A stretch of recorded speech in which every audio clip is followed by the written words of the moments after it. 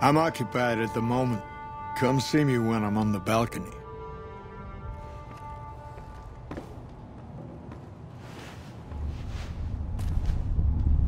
Glad you're with us.